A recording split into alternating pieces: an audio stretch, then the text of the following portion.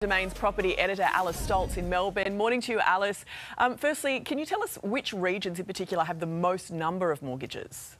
Good morning, Jane. Good morning, Clint. Look, generally around Australia, the areas with the most mortgages are in the outer suburbs and also the growth corridors.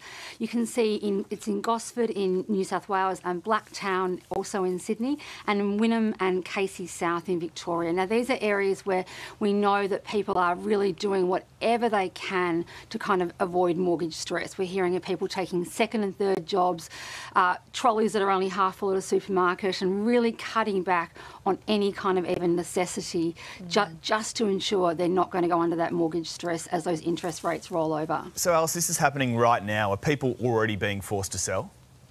Look, Clint, interestingly, when we look at distress listings, they are actually down from where they were late last year. You can see in no parts of the country are they yet increasing. In Sydney, they're actually down, Brisbane down, and Perth is down, which is a great thing. We're not seeing that signs of that mortgage stress. But I think in Australia, people will do whatever they can to hold on to their property. And I think we know that really what's going to have, happen in the next two to three months is really going to be indicative of how much pressure people are under.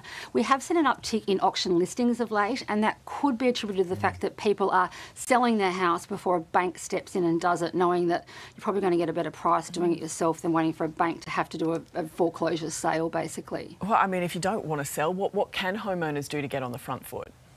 Look, I think, Jane, it's really about being in touch with your lender, and I think there's absolutely no no issue at all with letting your lender know you are feeling like you're going staring down the barrel of a gun and you need assistance from them. It's not in their interest to, to for, for, you to lose your house. It's not in anyone's interest, for, for that matter.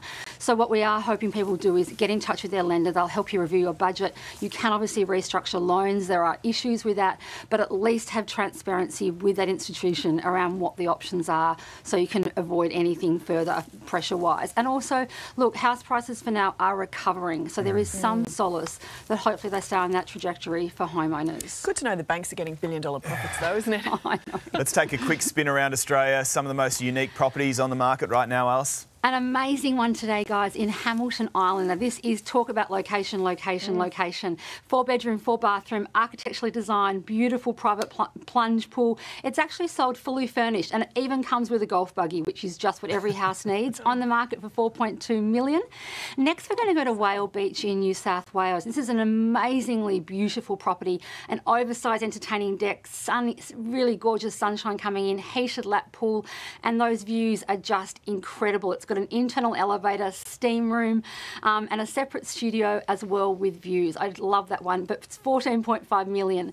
And finally, in Melbourne, we've got something a bit different for the Melbourne mm. scene. It's um, on the market for fi it's five bedroom, four bathroom. It's sort of this Palm Springs meets mid-century. It's a beautiful location, Brighton. It's sort of Melbourne's uh, answer to beachside living. Beautiful established gardens, and um, on the market for 10 to 11 million dollars. But I think that one in particular is quite um, an unusual unusual property and, and, certainly different for that area of Melbourne. Very light and bright, isn't it? Mm, and, it is um, indeed. By the way, the bay is the beach in Melbourne. Yeah, right. It's our yeah. version of, of, of, your Whale Beach, beautiful. Jane. It looks so tropical. It's lovely, all tropical year round. Melbourne. Thanks, Alice. We'll see you next weekend. It's been revealed homes across the country have made a huge amount of equity in just five years. Nine's Erin Ramsey is in Sydney with the details for us. Erin, good morning. Some Aussies are sitting on a gold mine.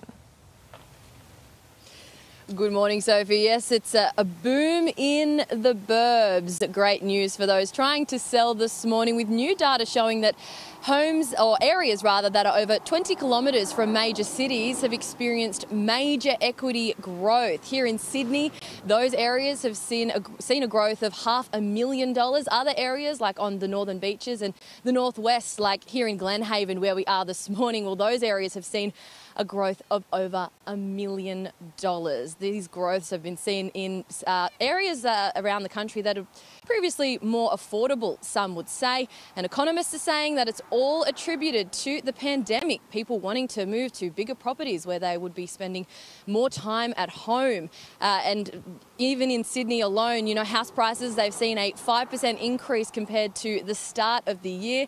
Uh, we're in Glenhaven this morning, over 40 minutes away from Sydney's CBD. This house behind me, well, it's expected to go for between 2.2 and 2.3 million dollars. So very good news for those who are trying to sell, but of course not relieving any pressure for those who are borrowing or trying to enter the market. Sophie? Yep, it's still difficult out there. Erin, thank you. Hey there, Today fans. Sarah and What's my name again? oh my goodness, Karl. Hey, thanks for watching our YouTube channel, though. Subscribe now for more news, special reports, and amazing Aussie stories. And Karl misbehaving, Whoa, of course. that never happens. always happens. What's she talking about?